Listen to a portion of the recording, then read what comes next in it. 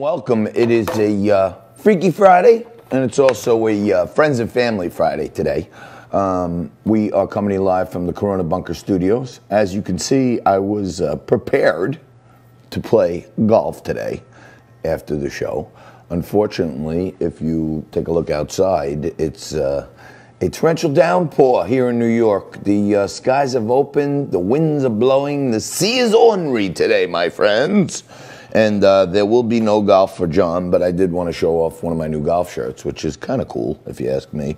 Overstock.com up another four bucks at 49. The stock's going to 100 if you want to take a look at that one. Uh, Dow up 200, looking good today, 25.9. For those of you out there who want to be uh, playing the market to the upside, which I don't think you should be.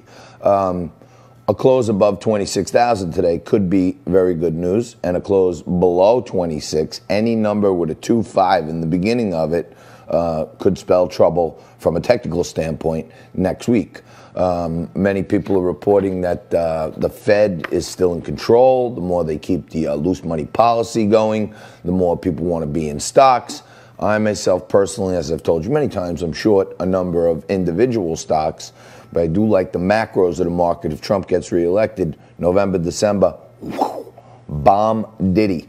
Uh, as I mentioned yesterday, we got a couple of regular guests that come on every Friday, and they're both going to be here. Michael Johns is going to be here, and uh, he's one of the co-founders of the Tea Party movement. And also uh, our good buddy, uh, funny man himself on Funny Fridays, uh, Barry Goldsmith joins us a little later, an hour two, to crack you up. Um, I will be here for most of the show. I intend um, to take a segment or two off today completely because my alter ego John Cronkite will be here a little later on in the show, and um, I may just take a segment off me and John Cronkite and leave the camera on Nico and Jess, who are standing by. Uh, Jess, of course, has curly hair today, so she's in a bad mood, and. Um, there's Nico. Now, you see, now uh, that we have this camera on the control room, now Nico's coming in all Rico Suave'd out. He's got the hair slicked back, looking good. Um, now, if you just play as good as you look, then we'll be in good hands. All right. Um, lots to. I got a whole page of notes here from Barry Goldsmith of all the jokes that he's going to crack you up with today. Uh, I'm cracking up about this.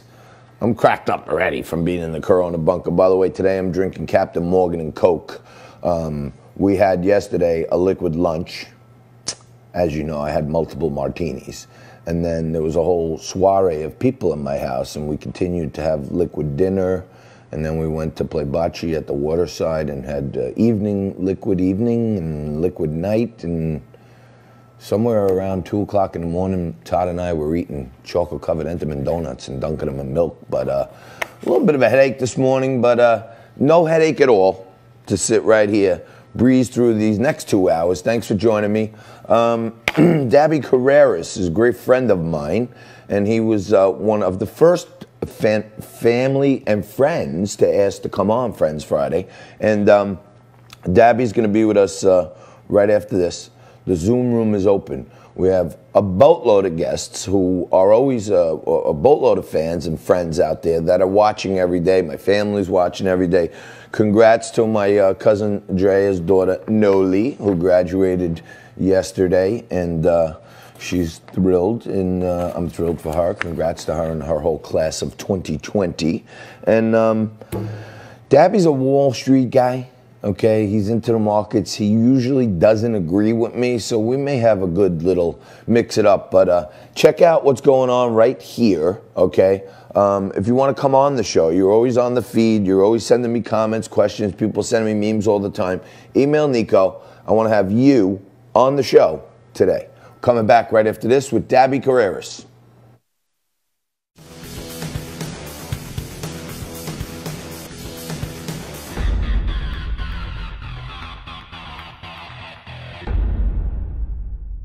Right, welcome back. Uh, just kicking off Freaky Friday and uh, came up with an ingenious plan because I love my audience and all my friends out there. I don't like calling them fans, I call them friends because I try to open my heart and mind and expose all the, uh, dents and dings on me and uh, let people get to know me and at least they know what I'm talking about and they know what's behind it, what I'm about. Um, take a lighter look at things sometimes, every so often, which I think is good to do. And uh, I love having a dialogue with all my friends that watch the show frequently, and people send me comments. They give me tons of content for the show. Um, and I'm always talking about the market and how things are going out there. And one of my uh, dear friends, who's uh, been part of the uh, Tobacco Murano circle for quite some time. Dabby Carreras joins us right now. He's a Wall Street veteran. He's a uh, tremendous friend of the show. He's always there supporting us and stuff. Dabby, how are you, brother? Awesome. Actually, uh, just watching this uh, storm coming in from uh, the balcony, so to speak. I'm not sure if you guys can see it. Oh, yeah. I'm waving wow. at you. I'm seeing you right there. I think uh, the Staten Island boat's running right out to you. Wow, where are you? In downtown Manhattan? Yeah, oh, absolutely. So great nice. looking view. So, Dabby, um, me and you tend to mix it up every so often down in Bobby Van's over a couple absolutely. of martinis. Um, tell the audience, I mean, I'm not a financial advisor. I say it all the time, but I mean, you are one of the best at them, and. Uh, you know, Thank my you. my Thank thoughts you. my thoughts are, as I've been saying for a while on the show, is I'm short a bunch of names that I don't think are recoverable. Uh, Simon Property Group, uh, Macy's, Gap Stores. Um, uh, Brookfield Asset Management, uh, AMC Theaters. These are single stock names that I think, you know, the utilization of their spaces is going to be 25% or 50%. These are all companies that will like struggling to thrive at 100%. So I feel like there are pot shots in the market that I can still do what I do best and get short. Um, but I actually think that the market, you know, once the once the election is settled, either way, I think the market goes higher. What, how are you feeling about it? I think you're right. There's a lot of confusion going around. I mean, if you look at this morning, you see Carnival flying up. I mean, I don't think people realize they're not going anywhere. Their boats are not leaving places and running around. The, the traffic is seeing are tankers, but yet the stock's flying up. Uh, people are going to go on their first vacation, so I think it's going to be great. But yeah, there's a lot of empty calories and a lot of different names that you just mentioned. I mean, very speculative, you know. But at the end of the day, you know, the rules have changed and we have seen such amazing things happen with e-commerce. So who knows? Yeah, so um, as you know, and some of my audience, those are just tuning in, I worked for Overstock.com for like 15 years. I'm a big shareholder in Overstock.com. Um, the stock three months ago was four bucks. And uh, the, the pandemic actually had a tremendously huge effect on Overstock, trading today at 49, up yeah. 10x through the, uh, up 10x through the pandemic, and it seems like the Wayfairs and the Amazons and everything.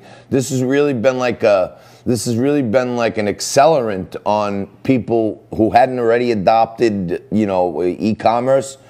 Now everybody's absolutely, absolutely. I mean, a lot of people don't realize that Overstock has a great way to have for the the blockchain and Bitcoin kind of space. And you never really see people get overastically enthusiastic, excuse me, for gold. But it's really when there's no real direction and people don't know. I mean, look, we're seeing um, a lot of confusion at all different levels, at legislative and and really economic. Like I said, the rules have changed and the theories. So a lot of things are really up for grabs for people who are looking to work and things that are making sense at the end of the day. And you know, if you have a business that's selling and has uh, uh, growth, that's not empty calories. It makes sense. Give people yeah. out there across the country an idea what you see in downtown. There's no term in finance called defunding. Either you fund something or you don't fund something. So when you say defunding, what you're really saying is removing. And I don't really understand how you can remove police um, because yeah, people should... are going to just hire security. So it's it's a little dangerous, but you know, you, you got to be careful. You got to be quiet. You got to be uh, mind yourself, and and uh, you know, you follow social distancing rules. Really, I, I think that's the best way to say. But it's uh, not someplace that it's apocalyptic that people should not, not yet. have to not worry. Not yet. All right. Well, you got to keep us posted. Thank you so much for calling in, bro. Love seeing you, and uh, hopefully one of these days we'll get to uh, clank some martinis together again real soon. Please. All right. Can't wait. That's uh, Thank you, John. Dabby Carreras, great friend of the show. You're watching Liquid Lunch on Biz TV. We're going to take a quick break. Come back with some more news of the day right after this. Five, four, three, two.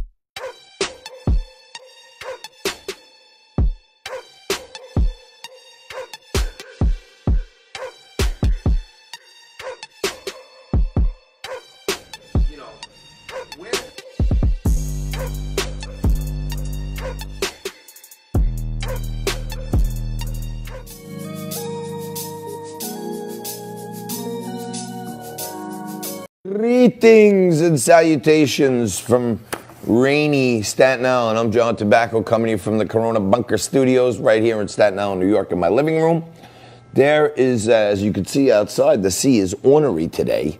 Um, waves are coming in, winds are coming in, tropical storm headed our way. We're battening down the hatches, um, and we're going to uh, continue to quarantine, I assume.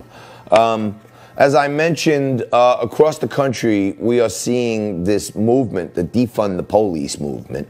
And uh, I continue to feel like, you know, they're shooting the messenger, going after the police. They should be going after prosecutors and uh, DA's offices that squander money and waste tons of dough on travel and all this other crap. And, uh, you know, we're going to talk about that more and more because it's not the cops. The cops are the street soldiers, okay? It's the prosecutors and the DA's offices that are calling balls and strikes on what they want to prosecute. And uh, right here in New York, you have, um, you know, people being prosecuted um, for crazy crimes that are almost not even crimes. Um, and at the same time, they got people looting and rioting and breaking into stores and things and you know bashing cops and lighting cop cars on fire. And uh, actually some kids vandalized the uh, st patrick's cathedral one, of the you know most famous you know attractions on earth.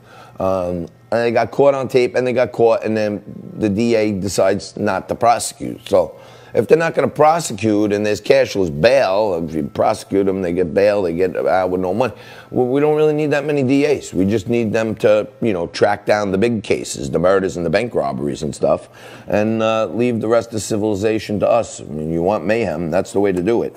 Um, but here in Staten Island, New York, um, Richmond County, as it's referred to, um, the highest percentage of votes for Donald Trump in the 2016 Republican primary, 82% of Staten Island voted for Donald Trump, okay? Number one in the whole country, not in New York City, not in New York State, in the whole country. This is Trump country like you cannot believe, okay? And uh, you know what?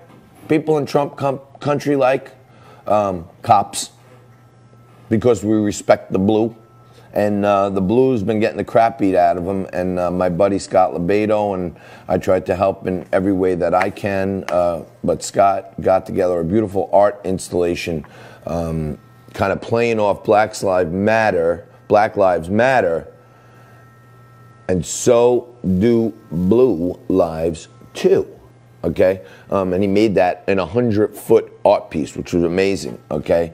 And uh, the grand poobah of Staten Island politics, the, the, the, the de resistance of uh, someone who stands up for our community with principles, um, our New York State legislator, New York State Senator Andrew Lanza was on hand, along with Mike Reilly, Nicole Malliotakis, Mike Tannousis, a lot of electeds were there showing their support for the blue. So remember that in November.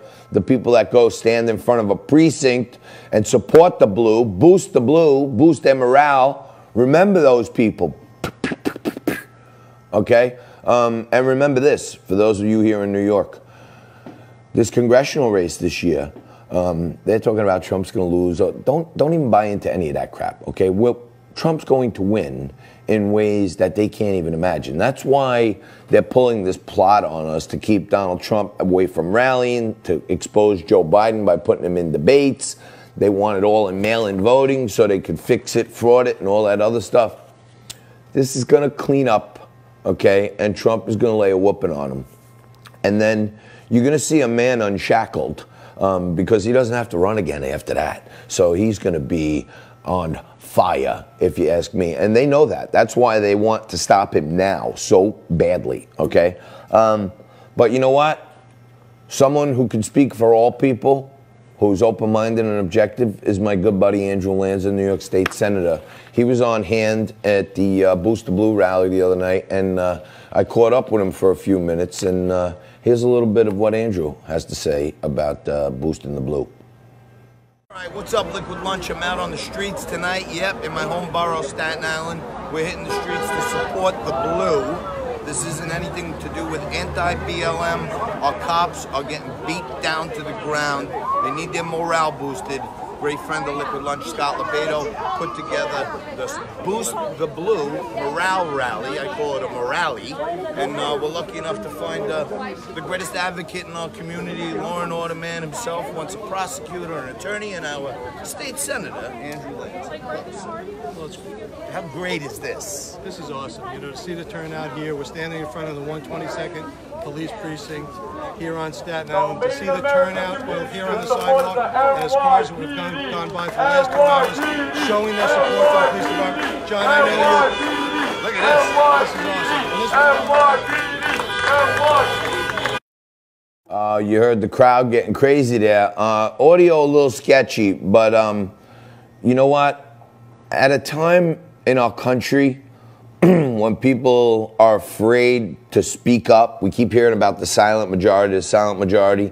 It's easy for a politician to squeeze his way out of showing his face at something that is against the BLM movement, the defund the police movement. But there's Andrew Lanza up there. Um, and he and I are both sons of cops. Our fathers were friends, okay? We know each other since we're 12 years old and uh, went to the same high school and uh, we share a lot of the same values, and uh, we talked about that. Check this out. I've been friends for 13 years, uh, since we're 13 years old, and this guy has known right from wrong since day one, and so I know this really warms his heart to see this. It warms my heart. You know, we're here because we know one thing. The greatest police department on earth is right here in New York City. The men and women of the New York City Police Department are the greatest police on planet Earth. Without them, all is lost. We depend on them for our safety, and we're seeing this assault on America, assault on our police, defunding police. This is the most disgusting, outrageous, ridiculous thing that I've seen in my life. And we're here to say we love the police department. We need the police department. In fact, we need them more than they need us. And we want to be out here showing our support because we know that this is about taking our freedom away. They hate the police department because they want our freedom. They hate America because they want our freedom. That's their ultimate goal. This is a Marxist revolution, and we're here to say, God bless America, God bless the men and women of the New York City Police Department. You know what? Uh, I'm proud to be his friend. I'm proud to know him my whole life. I'm proud he represents me and my family here because I know what he's about, and it's takes some it takes some some gumption. I'll just say. Um, to get on national TV as an elected official and say, God bless the NYPD. That's like a mouthful for the woke crowd. You mentioned God and the police in the same sentence. Oh my God! We should bring in John Cronkite uh, and get his liberal spin on these things. Nah, that's not happening. He's out today. And I'm doing rum and coke today. I'm switching it up a little because it's a little cloudy, so it's like a, I used to live in Bermuda and um, I used to drink the dark and stormies. Um, so I'm going to do some dark and stormies today because of the stormy weather. I even had to pull down the flag because uh, I lowered it because the wind was almost ripping the pole over. It's crazy out there. More liquid lunch for you right after this, and uh, more from Andrew Lanza a little later on in the show. Michael Johns is going to be here right after this. Barry Goldsmith is going to be with us. You're there. I'm here. Stay put. Have a drink. Be right back.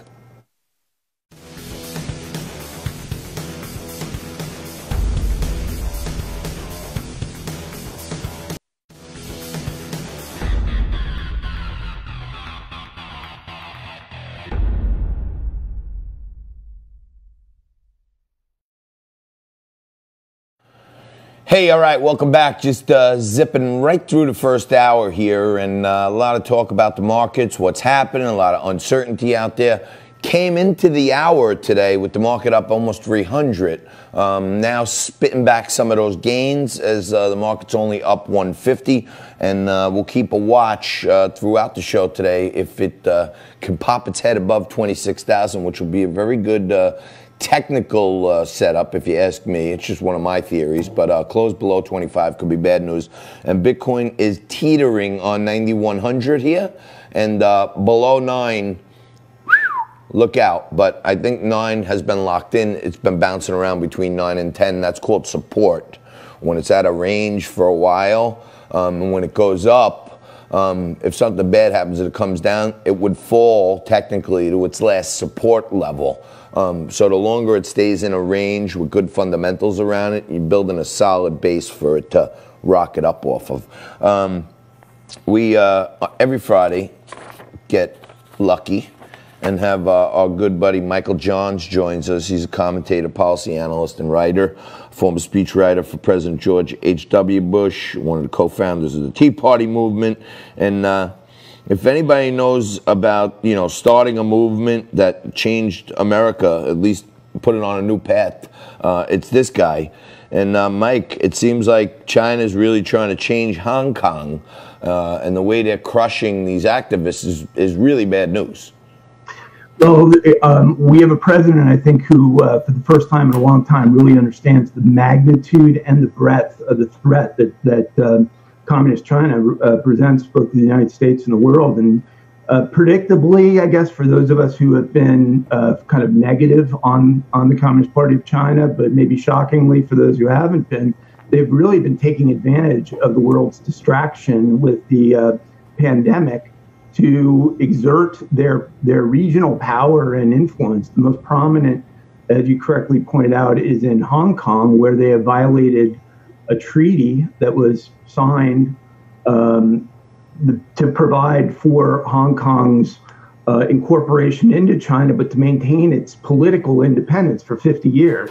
Halfway through this agreement, the Communist Party, after the you know, after seeing momentum building in Hong Kong for, for freedom and for even independence, uh, met in secret, violated this agreement, put forward this national security law that now threatens uh, Hong Kong residents with life in prison uh, for you know the most vague offenses, including um, you know sedition and and uh, political opposition, collaboration, or um, with the uh, Western or other governments. That essentially sh- is designed and may have the effect, in fact, of shutting down what is the one of the largest democracy movements of modern times in Hong Kong. Um, the other thing that's really been, you know, getting to me more and more is, you know, and we've been talking about it, you and I, is this uh, COVID stuff, the COVID cover ups, and, you know, how, you know, one day mask, one day no mask, and this kind of pandemic is kind of taking away our rights in, in a big way. Uh, how bad is this cover up, do you think, Mike? It appears it was it appeared horrible uh, a month or six weeks ago. It is now emerging to be even worse than we thought it was. Um, the most prominent recent example is the fact that we were all led to believe the World Health Organization said this, Communist Party of China's spokespeople said this, that they had notified the World Health Organization uh, late, um, you know, into late into into 2020, but they at least had notified them about the transmittability and the pandemic potential of uh, COVID. It now turns out that there really was never any notification to the World Health Organization. And as you and I have talked about before, um, you know, this organization's been run by a former Ethiopian health minister, not even a physician, who essentially has been operating for quite a long time as a pawn of communist China. And it's clear that uh, uh, the Communist Party in China did everything it could to contain the pandemic within Wuhan province while they simultaneously allowed individuals to fly all over the world, including to the United States. Um, you know, with what motive? I mean, I guess the most cynical person would say to actually damage the economies and um, even the security of, of foreign countries, including the United States. And you know, if you want to give them the benefit of the doubt, I guess acted uh, irresponsibly or unstrategically. But um, I think many of us, this administration included, which has really some great China advisors um, like Peter Navarro uh, doing fantastic work, uh, I think really understands that what we've got in the Communist Party of China is what's called an enemy. And we just simply haven't sort of come around over the last few decades to describing it in that way. And it's a different enemy. It's not like the Soviet Union, a traditional, you know, sort of global military power. The military uh, confrontation, including in, particularly in the South China Sea, is increasingly a big part of this. It's been an economic war. It's been a informational and propaganda war. It's been an infiltration war. I mean, what Communist China has done to infiltrate American universities, uh, to establish their so-called Confucius institutes, which have, you know, really provided immense pro-Beijing propaganda in these universities. Yeah, hey, uh, Mike, what about, um, you know, lightly reported, if at all, but I've been saying it for months now, you got this Harvard professor um, who was arrested for taking like, you know, five million bucks from China. Um, the, he ran like the microbiology department at Harvard, and they caught him at an airport, like trying to get out of the country, and then two, people he was working with in that scholars program um, turned out to be Chinese nationalists who were actually intelligence agents. So, does Harvard um, have some hand in in this? Why would the FBI lock up a Harvard professor who's a bio- microbiologist?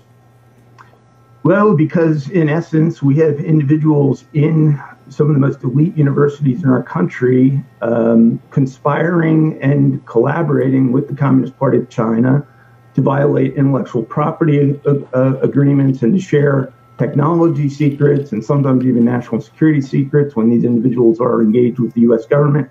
This is a vast um, barrel of problems that we're only now beginning to unearth.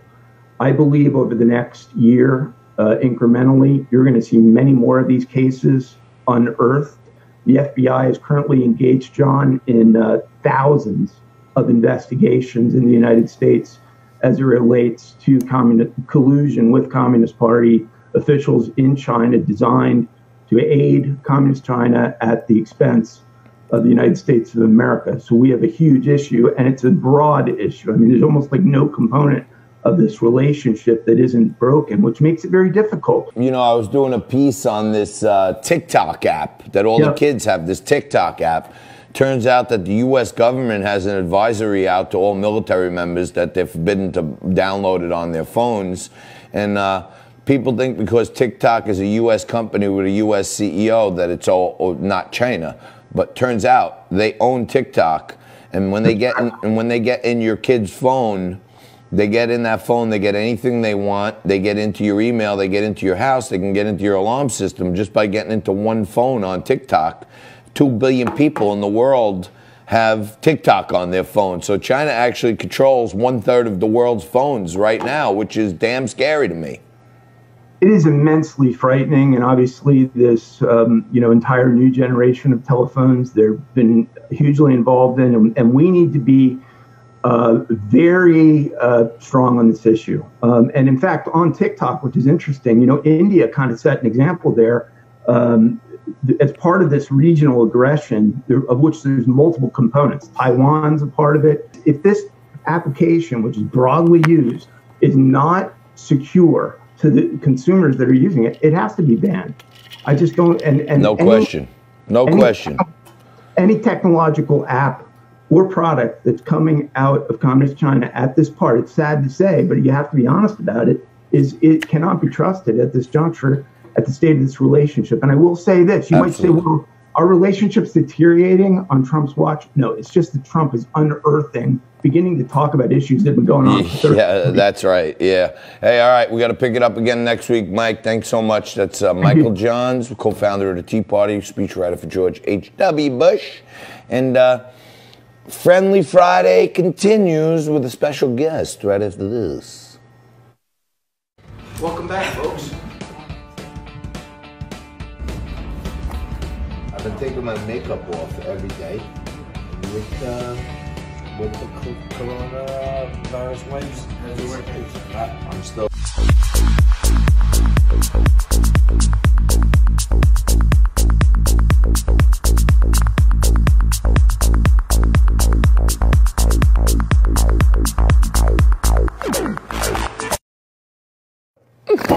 Yeah, it's a funny Friday. I tell you, this spiced rum, boy, it is good. Um, I may turn this segment over to uh, John Cronkite and uh, go sit over there and have a uh, rum and coke. But uh, I have been playing around lately with you know this alter ego news person voice, and um, you know if you really want a solid gold newsman, um, I we got the best in the business on our team, that's for sure.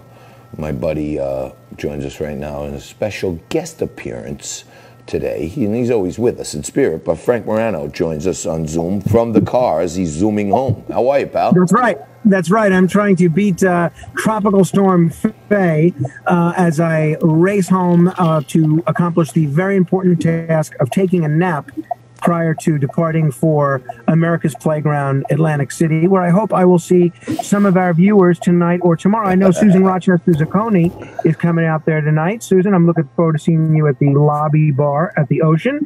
And uh, I believe um, tomorrow we're going to see both Loren Conlon and uh, Zen Sams. Looking forward to seeing you guys. And uh, it should be quite an interesting crowd all around. All right, so Frank, couple things I need your help with. First of all, I know you've been popping in when you can and watching, and your advice is, you know, always the best. But um, Right. I have been trying as much as I can to spread the word about all your new great uh, things you're starting, the different shows and all that stuff. And I see like an outpouring of love for you on social media and everything. That you know, I think you're just, I think you're just about to blow up. I think they say to kids, hashtag about to blow up. No?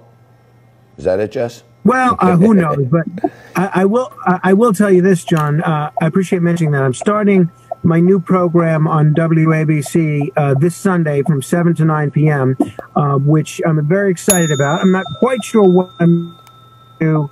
Yeah, yeah, you could go. You can go. Um, I'm not quite sure what I'm going to do yet, but um, I will tell you this. You know, you've seen this, John, that whenever you do something that's in the public eye, you see people going out of their way to slam you for past misconduct or past alleged misconduct. so what I'm going to do uh, this Sunday, like let's say people don't like an interview I do or an opinion I give, you know, they might say, "Oh, what does Frank know? He was once blank." Um, so what I am going to do this Sunday is I all of my haters the trouble, and this Sunday between seven and nine p.m. I am going to list every single negative thing about me that is in the public domain. Every single thing that you can find in hours and hours of negative Google searches about me, I am going to bring to the listener's attention to save you the trouble because you don't have to go to the New York Radio message board or the Facebook and say, "Oh, don't listen to Frank. He's a he's a political hack who wastes." Uh, Yes, I money. am a political don't listen hack. To Frank. You know, yeah. So um, my favorite my favorite name for you and I you know I you must use it but my favorite name that you're quoted in the press as is political gadfly Frank Morano gadfly if you look up gadfly as a word you'll crack up laughing did we lose yeah, I got you now, John. Oh, okay, I. Yeah, I like the political gadfly. You know, I always send it to you when they write it, but why are you a gadfly? I, I don't know. I don't know. That's a good one. I got to find. Uh, you know, the Staten Island Advance. They they were always the ones that would call me a gadfly, but I have to I have to see now that they have a paywall if I can still access those articles. But, uh, but yes, that's a popular one. Frank, I'm sure you know, but today we booked basically no guests, and I'm asking different, you know, friends of the show and stuff to call in. They message us and send us things, and um, we had Dabby Carreras there, and uh, just a little Yeah, while I saw ago. him. He was great. And um, you're, of course, a special guest appearance, but you know this is your show as much as mine, so you come on whenever you want. But um, as a part of the other things that you might want to add to the list of what you're guilty of, um, I was thinking about like old stories uh, before I knew about this, but um, you are guilty of, you know, running out of gas and at the same time not having one dollar in your pocket to buy new gas. Right. Remember, That- do you that's right. remember? You do you remember that story? I do. No, that's a true story. That was um, that was about about ten and a half years ago, and uh, you came to my rescue. Not only did I run out of gas, uh, but I did not have any money uh, to purchase more gasoline. So. Um, you you not only paid for the gas, but um, we went to a gas station. You had your driver at the time, Scott, drive us to a gas station. We filled, um, we, we got a container of gas, but then we got back to my car, and our problem was No we had no way. We had no way to funnel the gasoline into my gas tank. So I walked all along Port Richmond Avenue asking business owners and shopkeepers, none of whom could speak English, if they could give me like a screwdriver and a funnel, or even at some point, I think I ultimately settled for a paper plate and something to push it. But you had, um, uh, creatively as you always do, fashioned a piece of campaign literature from uh, former city councilman Ken Mitchell into a funnel that you used to funnel the gasoline. So You know, I believe uh, you've been burned. Yeah, campaign Frank, literature. we've been talking. You've been talking politics all week, all six hours a day. I just thought maybe we would fool around about the about the good old days because, and I was telling Dabby, and I, you know, said it before. I told you, but I'm literally brimming with pride to be your friend, to see um, all the greatness you're achieving, and I know in my heart how hard you have been working for that your whole life. So, people should take notice and point to this guy as an example, if you ask me. I appreciate that, unless I'm just a tremendous flop, and then uh, it's a it's probably an example of uh, of uh, someone to point to as a series of poor career choices. All right. Well, you know what they say. You know what I mean? It's not, you know, look, should I do a Joe Biden right now and forget the quote? But, uh, you know, it's not how hard you go down, it's how fast you get up, you know? And, I uh, like it. I like it. I'm not, I like I'm not worried. no malarkey. I'm not worried either way. Thanks for calling in. And, um, you know, if you see anything objectionable, you know, anytime you just, you know, call right in. And I'm looking forward to hopefully next week on WLIR, where Frank is broadcasting right now um, out to Hampton Bays. Um, I'm hoping to be on the Three John panel again next week. Well, he looks good frozen in just that position. He's pondering whether or not he's going to let me come on next week. But uh, nah, that's the great Frank Morano, my buddy. And uh, if you if I showed, he used to host a show when he was like 10 on CTV here in Staten Island. It was called Morano Vision, and I still right. have him in my phone till today as Morano Vision because he has quite the vision. Buddy, thank you so much. You're the bomb. I love you. Thank you, John. I'll see you tomorrow, hopefully. See you Saturday. Yes, sir. Bye. All right, brother. We'll take a quick break. Come on back right after this with uh, another hour of Liquid Lunch. For more Liquid Lunch, head over to YouTube, do a search for Liquid Lunch TV, and hit that subscribe button.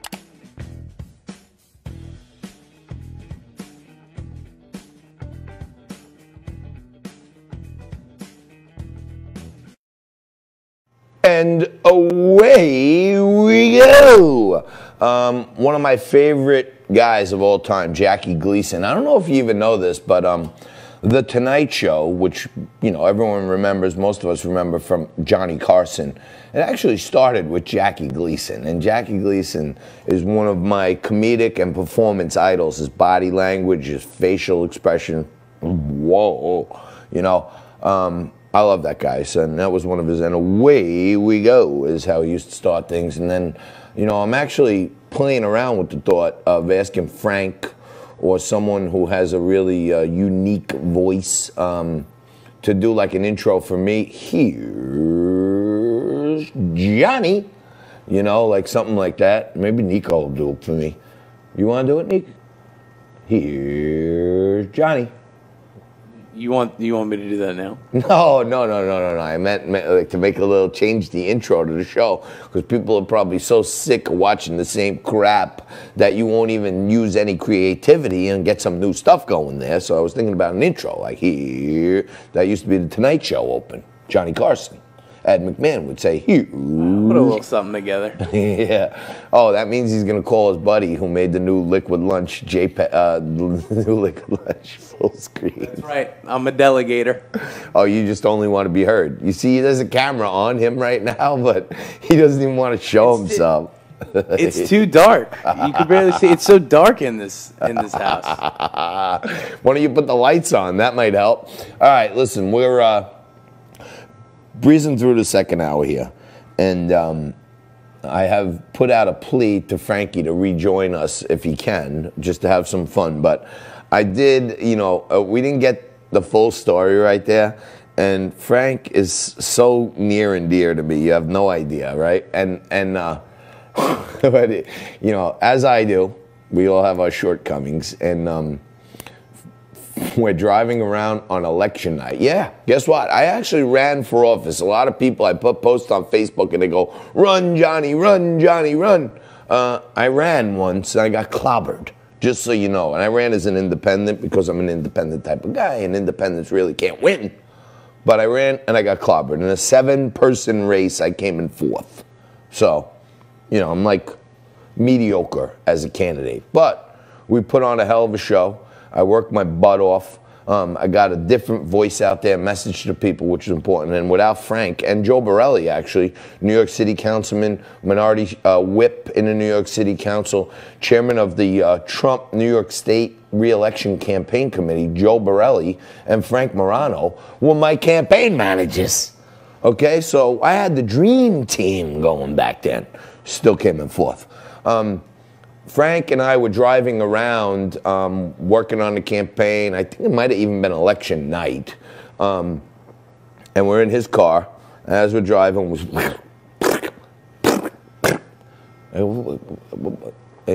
oh man, I'm out of gas. What? Who runs out of gas? Like, oh, so we pull the car over. And um, then I said, all right, well, you know, we just passed the station about a few blocks back. We're gonna have to walk over there and get some gas.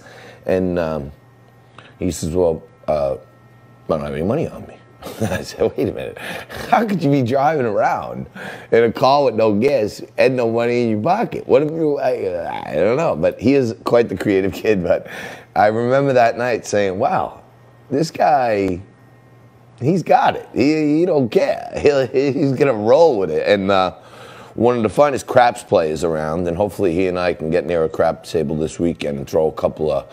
I'm going to talk about someone I know. My friend Adriana yesterday was telling me that there's this whole new craze, this crazy thing um, that people are entranced by um, people who talk really low, like this, and they do these Facebook videos where they talk like this, YouTube videos where they talk really low. Yeah, you're talking about ASMR. Yeah, ASMR. And then they go, that was the sound of a martini glass hitting the Captain Morgan. Yeah. And um, this is the sound of a shaker opening.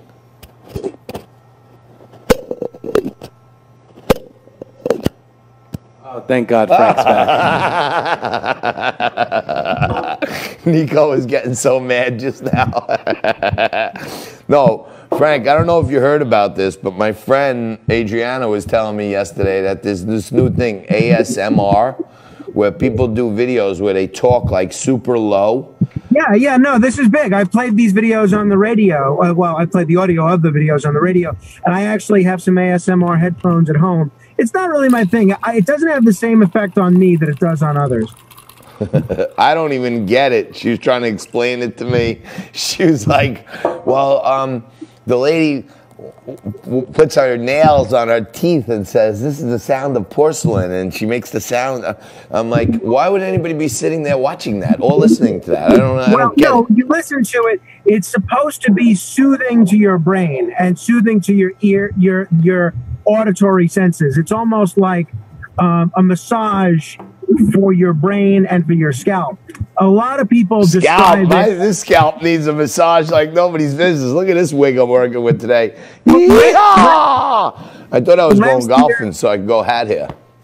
last year during the Super Bowl, they had an ASMR commercial. I don't remember what the product was, but that's when I first learned about it when they played this ASMR commercial last year. Oh, the So calm, the calm, I think so. like It's where when you just somebody- hear the water running. I don't. I don't remember which one, but I remember it was a big deal at the time. Got it. Yeah, Frank. I don't know if you were listening, but I was. Was that election night when we were driving around in the car? Wh- which which I, I was not listening. Um, which which time? No, on the gasoline night. Was that election night? No, it was the um, it was the Saturday or the Sunday before election day. Ah, okay. So we were close. No, I was just telling the audience, giving them a little more backstory on that. That you know, because a lot of people, when I put stuff on Facebook saying we got to change this, they say run. Bill Marco's always writing run, Johnny, run, and other people say run. And I'm trying to point out to the audience who doesn't know, I ran and I lost significantly. I came in fourth in the field of seven. I know, but you know what? I think a lot of your base is the first of all, you got put on the ballot the day before the election. Second, a lot of your base is the South Shore of Staten Island, and uh, you, you none of those people were eligible to vote for you. You ran in the North Shore of Staten Island. So I think if you were to run a race in the South Shore of Staten Island or an island-wide race, or um, you know, who knows, maybe even a, a, a race that is of wider jurisdiction, uh, and those South Shore tobaccoholics could vote for you. I think That's a great name. Maybe I should just register as a Democrat and run for New York State Assembly in Staten Island and try to see if there are really tobaccoholics out there who will vote for me. I think it's going to be. First of all, it's too late for this year. Um, It too late to get on the ballot. Yeah, Oh. but I think if you um, if you were to uh, run this year, you'd see in the South Shore such a high turnout for Trump that whoever the Republican nominee is, and in the South Shore, it's uh, Assemblyman Michael Reilly, uh, former police officer himself. He uh, is going to win so overwhelmingly that it, you know just because of the Trump coattails, if nothing else.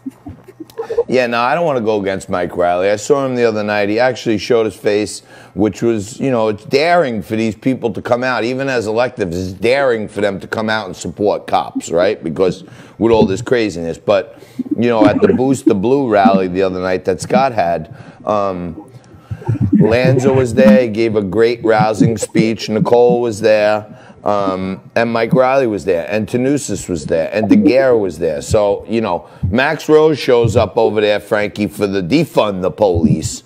And then the people we care about and care about our community show up to be with the police. yeah, it's uh, it's a sad situation, but uh, hopefully uh, there comes a point where the voters of New York City eventually get frustrated and decide they want some new new style leadership. Yeah, like maybe John Katz, and he's he's got some decent moderate bona fides too. He, he- Yeah, that would be great. We might be a Bloomberg Giuliani moment where John could come in and actually save the city like Trump did four years ago. That would be beautiful. All right. Well, the point I was making when I was talking about my old campaign was. Boy, wasn't I lucky. And boy, didn't I have at least a good eye for talent because I had Joe Borelli, city councilman, minority whip, and uh, chairman of the New York State Trump campaign, and Frank Morano as the two guys leading my campaign. Boy, was I lucky. That's for sure. That's for sure. And uh, we had a lot of fun. We may not have gotten a lot of votes, but we had a lot of fun. That's my buddy, Frank Morano. Thanks for calling back in and doing double duty, buddy. We'll take a quick break. Absolutely, break. John. Love you, pal. the See you tomorrow, okay? Yeah, I'll see you then. We're going to take a quick break and come back with hour two right after this with double. Welcome back, folks. I've been taking my makeup off every day with uh, with the co- coronavirus wipes. I'm still corona free.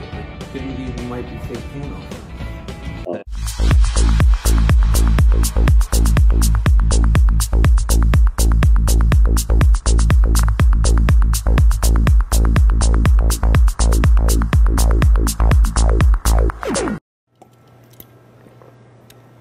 You're not even going to believe this.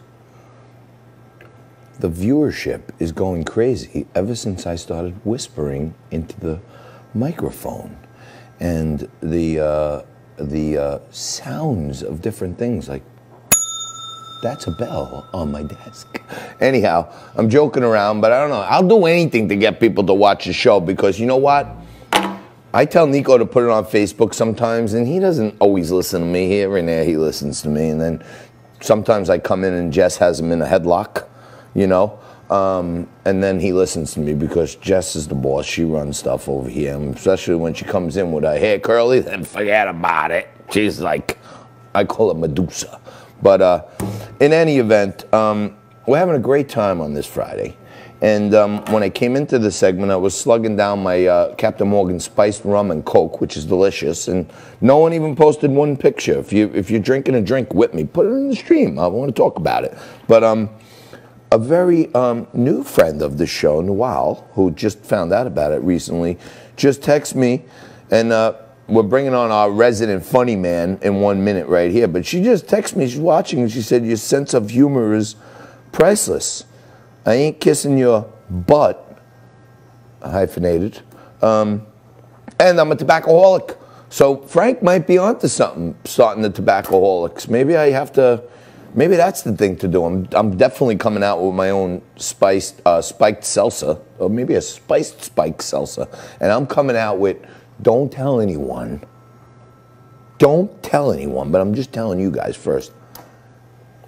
I'm coming out with a vegan spiked seltzer. It's gonna be so good. And it's gonna be vegan. And it's gonna be organic. And no animals will be harmed in the production of it. And I'm gonna put all that on the can. So all these crazy liberals think, ooh, let's buy the vegan spiked soda. And it's not even gonna be vegan. We're gonna put pork juice inside.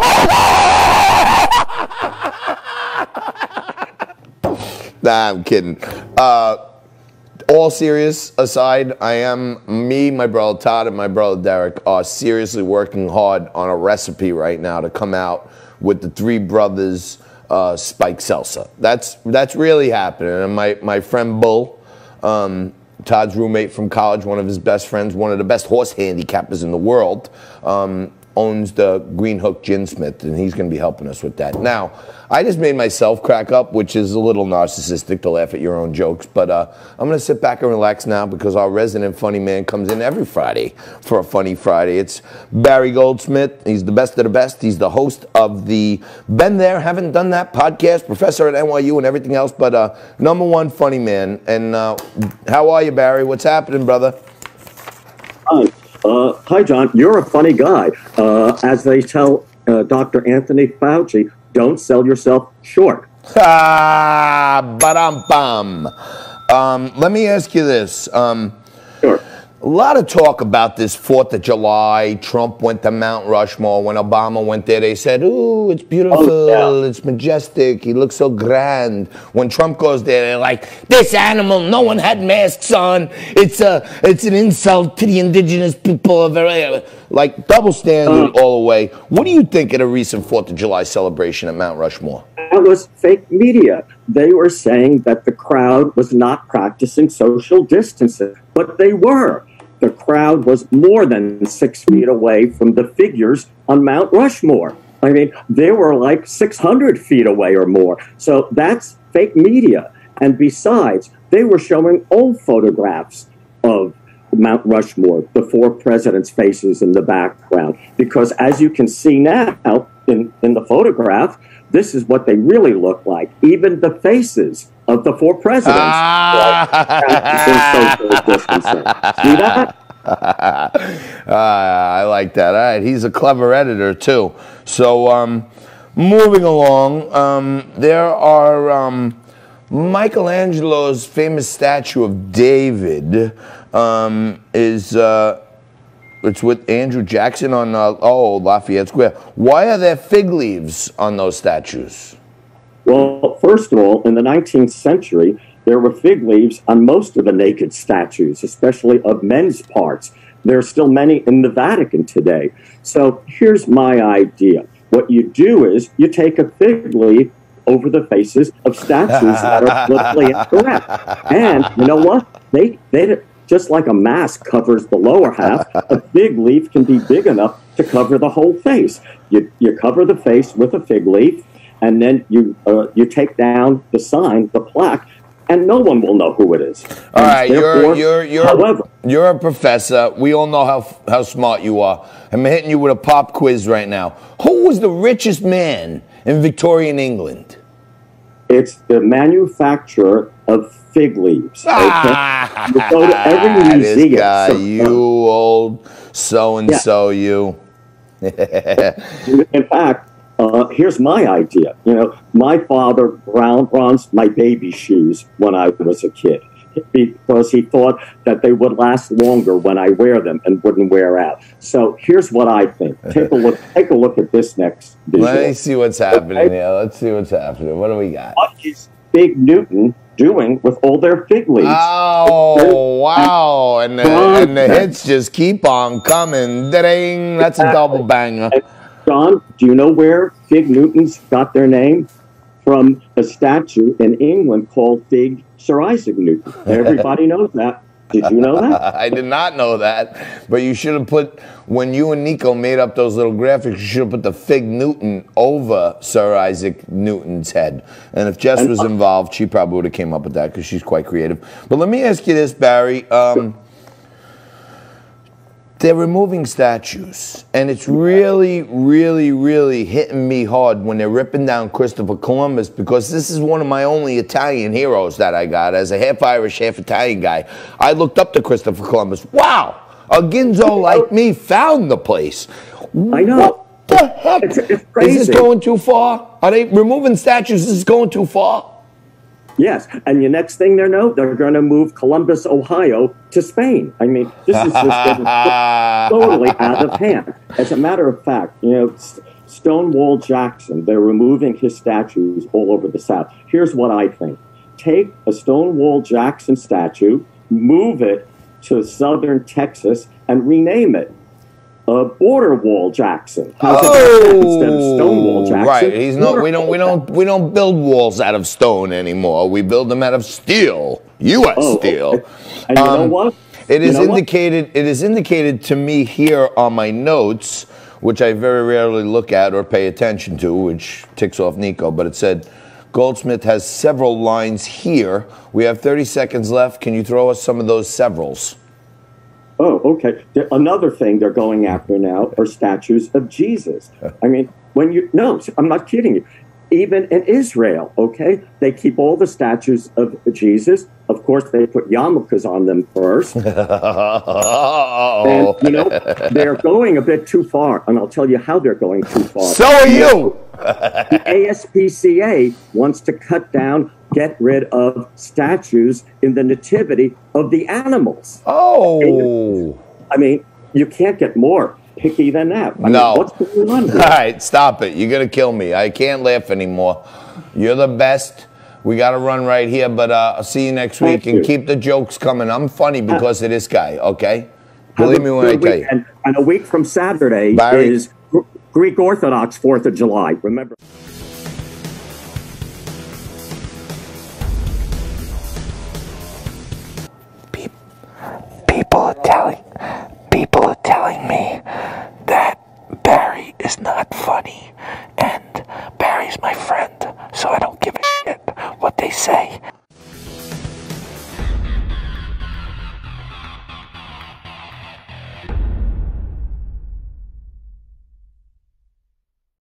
John Cronkite joins you again. Wow, this show's just turned into a crazy freak show now. It is Freaky Friday, actually.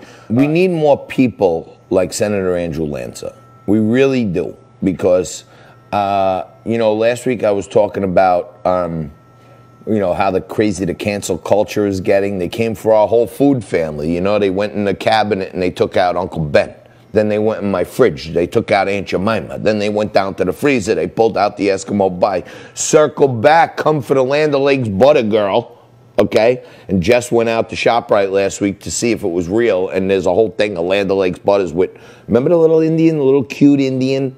Little fe- one feather sticking up. Hello. She's gone. Land O'Lakes is now just a landscape now. So they should just call it landscape butter because that's all they got there. Filling in for John Tabacco, John Cronkite, he's uh, clearly lost his mind today. He's doing all these ridiculous things. And um, let me take over the rest of this segment for him. Uh, we have a tremendous amount of news breaking in the city, in the country, in the world. And uh, this just in breaking. I can't even do it. Breaking news. Amazon. Now, you may recall that right here on Liquid Lunch, we do deep investigative reports. I can't even do John Cronkite today. Hold on. We do deep investigative reporting. We had on Karen Turk yesterday, who goes behind the headlines, and uh, we oh we've been talking about TikTok, as you know, and I've been saying that it's a Chinese spying tool. I believe Jess, who just handed me this paper right here, has some breaking news.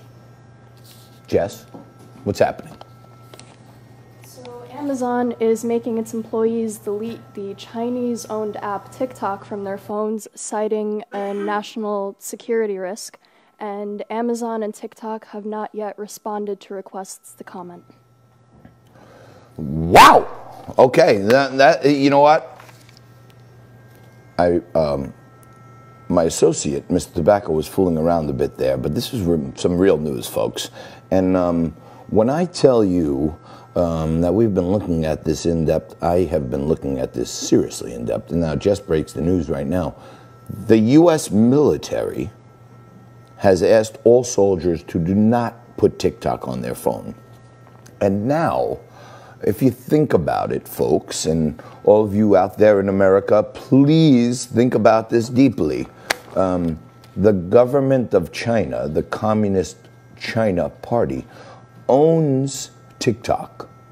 And now Amazon, your most favorite e commerce site, has told all of their employees that they have to eliminate TikTok from their phone. So now let me tell you this I do not have the dossier of uh, technology and entrepreneurial magnificence as Mr. Tabacco, um, but I can tell you this everyone in the world trusts Amazon for having some of the finest technology out there. You feel safe, you feel secure, you order things, they show up, they're at your door. If they don't work, you send them back, they send you a new one. If anyone knows the threat of technology, it's Amazon. And Amazon has now told their employees to delete TikTok from their phones. This is going to be terribly devastating news for John Tabacco's daughters who love TikTok.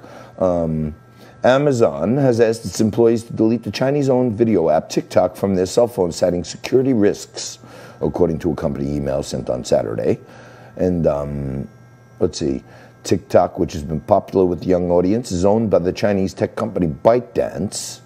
It has been under scrutiny from Washington because of its ownership. Mike Pompeo, fellow Italian like Mr. Tabacco, Secretary of State, said on Monday that the Trump administration is considering blocking some apps, which he calls a threat to U.S. security. So, for those of you out there who like to do a little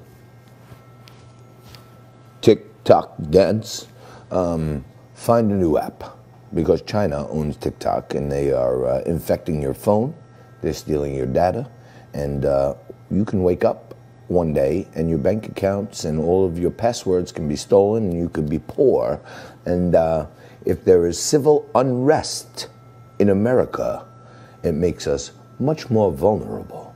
So uh, the murder hornets were coming our way, but they stopped those. They did send the Wuhan virus here, often referred to by our great president as the Kung flu. So the flu came, and then the 5G network is coming. Also, the Chinese government owns Radisson Hotel Group, so don't stay in a Radisson. They're putting in the Huawei 5G network around our country. And if you stay at a Radisson, and you have a TikTok on your phone, and you're at a 5G network in some rural area of America, you are a pawn of China, and they have all your information. So I uh, continue to try to take over more time in this show so that I can bring you real news. Jess, thank you for breaking that news. She's a wonderful news lady. And um, I guess John Tabacco will be back after this. I'm not sure. I sure hope not. Maybe we can even get the great Frank Morano to come back in lieu of Mr. Tabacco. But in any event, I'm John Cronkite, and that is the breaking news for now. We're going to take a quick break for our local sponsors. We have none. And we will come back right after this and calm you down for a beautiful Friday. We'll be back right after this on Liquid